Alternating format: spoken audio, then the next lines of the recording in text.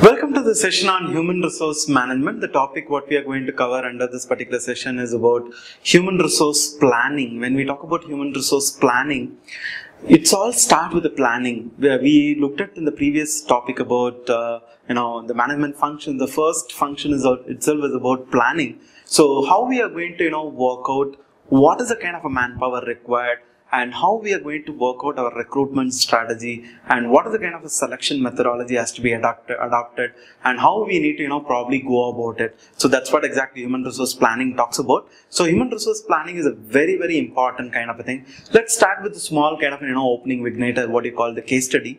Uh, so under this actually you know we'll be covering two major topic uh, you know under the human resource planning. The first topic is about nature and scope of a human resource planning. The second topic is about the human resource planning process